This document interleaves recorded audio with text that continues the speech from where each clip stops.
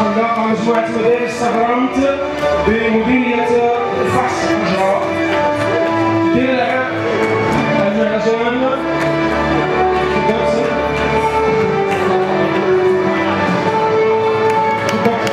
ثم جائزه